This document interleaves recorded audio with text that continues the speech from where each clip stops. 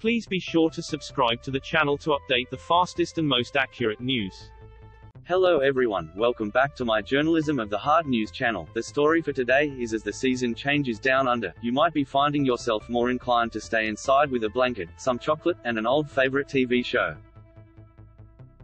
While we're loving everything streaming has to offer in 2022, there's nothing better than the soothing predictability of a show you've already watched, probably multiple times, that brings back all the good feelings from when you first saw it years ago.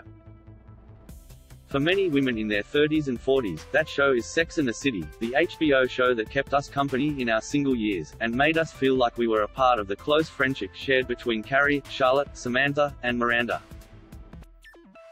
Luckily, you can still catch all the episodes of the original series on binge if you live in Australia. And just like that, we miss the old show. Why should I watch Sex and the City? For the uninitiated, who might be coming to SATC for the first time ever, there's a multitude of reasons you'll love this show. It was popular in the 1990s for a reason, it's funny, it's entertaining, and it celebrates both female friendships and female sexuality.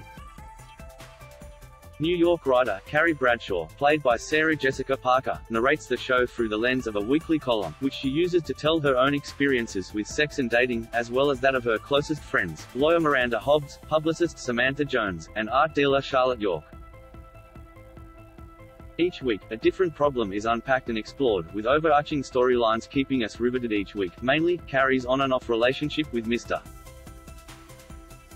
Big while the show was progressive for its time in the 90s, some have gone on to criticize the series for being problematic, but ultimately, we're not here to judge. Ultimately, it's a light-hearted and funny show about the awkwardness of being single in your 30s when you don't want to be. The original series followed Carrie, Samantha, Charlotte, and Miranda. What about And Just Like That? And just like that is the rebooted version of SATC, which follows Carrie, Miranda, and Charlotte in their 50s, where they still share an incredibly close bond.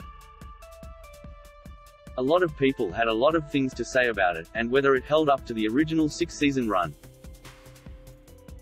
Our only criticism of the show is that it doesn't give the nostalgia factor where after when we settle in for a few EPS of SATC, but good news, you can watch them both in the same place.